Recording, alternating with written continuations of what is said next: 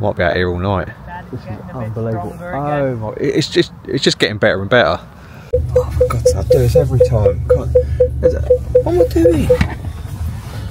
The one time you need to go quickly. Well, so I need to go quickly. I can't get off the driveway because someone's parked the house there. Guys, hi, right, welcome back. Um, this is Foto How To, a channel completely dedicated to photography. I'm sorry I'm speaking really, really fast. I've not just uh, eaten five tubes of Smarties and bouncing off the walls.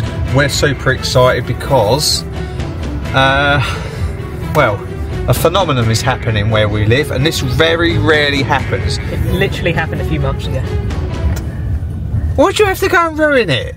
This doesn't happen down here very often, so we have got the Aurora Borealis, um, literally down the south of England. Um, I don't know how strong it is, um, but yeah, I mean, I, I thought that was it. I've been to Iceland loads of times, I thought that was it, game over, I'm not going to see it again. But it's actually happening on our doorstep, so we're racing out as quickly as we can to go and see how strong it is, see if we get some video footage and some photographs.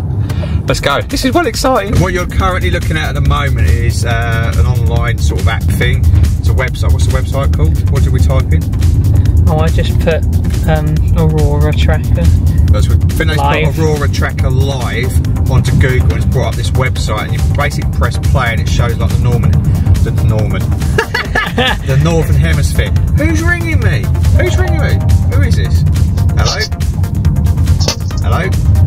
Oh, I think I can see something in the distance over the rooftops. Right, Joyce, pick us up, pick you up, because we're literally about Yes, to drop Yes, please. Right, come straight, come out your house, come at the top of the road, wait ain't warm. Okay. I'm not excited! Yeah, so this app's really clever because it will show you how strong um, and how far it's going to go down the, the hemisphere. And like I say, it very rarely touches um, the UK. Um, but for some crazy reason, we've got it and we're in October. We're just, uh, I think we're in the middle of October now. So we are super excited. So, oh man, I'm buzzing. I'm absolutely buzzing. This sort of thing, as a photographer, it's like I don't know, it's, it's a bucket list shot, it really is. But the difficulty I've now got is do I video it or do I take a photograph? what did you do last time? Pretend I didn't say last time.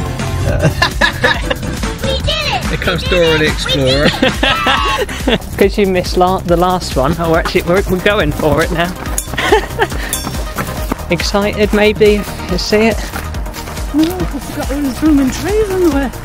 I mean, You need to be in the field. like, this is really scary, isn't it? You look behind, you can't see anything. so the northern lights are there. That's the aurora, uh, but we've got lots of light pollution, so we are just contemplating whether we're going to move to a location where there's less light pollution, but there is a gamble that we could lose the northern lights. I'll let you lead the way. You never surprise me. Right, okay, we're in the park. As you can see, it's really, really dark. Um, I haven't done that for drama or anything like that. It is literally pitch black, and that's one of the reasons why I came here. So we get minimal light pollution. Right, there's a green haze just there, which is just over the top of the city, over the top there. Did you just say you're going to take a picture off the back of my camera? Yes.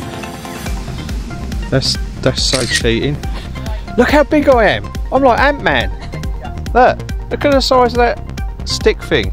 Right, okay, so uh, if you're taking a picture of this, you want a wide angle lens. Um, I'm shooting with a 14 to 30. Uh, my lowest aperture with this lens is f4. You want the widest aperture possible, so go down as low as you can. Um, it just lets more light into your camera. It also means you don't have to raise the ISO so high and get noise in your shot. Um, exposure wise, you want to be shooting around about start with about 8 seconds and either lower it or increase it depending on how bright your image is. It might be because I just shone my torch over there. I reckon there's a red tint. Oh man, if there's a red tint on this, it's going to be awesome.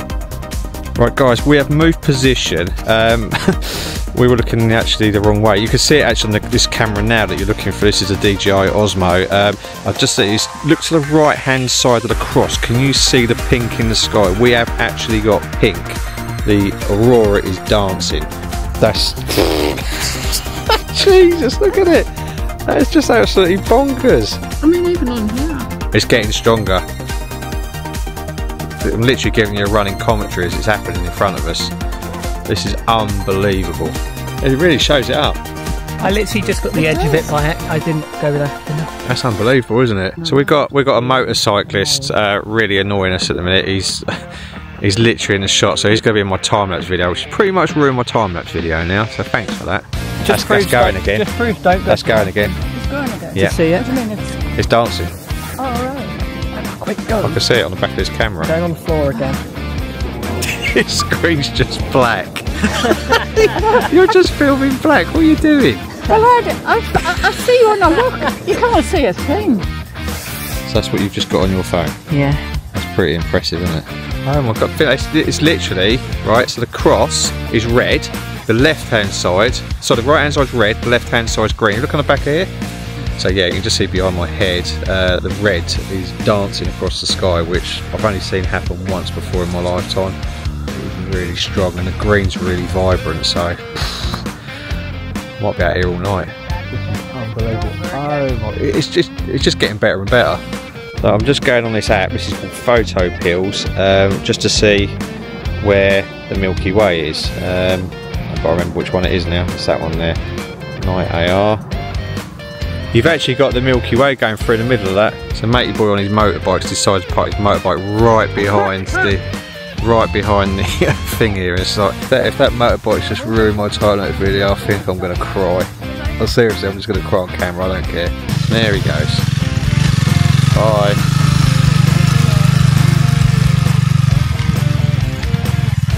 It's gone to the left. So yeah, the uh, it's moving around in a minute. It's really dancing. So now it's literally gone to the. When you see it there, guys, that's just like wow. This footage just like unbelievable. I'm not going to bed tonight. But I am not going to bed tonight until this disappears. This is like once in a lifetime. At least I didn't have my pyjamas on when you rang. Yeah, you had your bovril ready, your slippers. Was Yeah. halfway up the stairs to bed. We'll just pretend she's breaking into someone else's house. this, this is cat burglar. that's not your house. Who was that lady?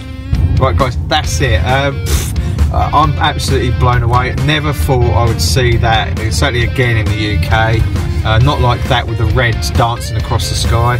Um, as we just mentioned there, I think when you're shooting the Northern Lights, because it's bright, you want something in the foreground, something silhouetted, a building.